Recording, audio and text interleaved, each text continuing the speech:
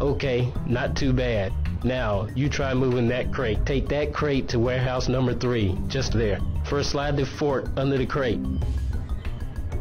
Then lift the crate and go.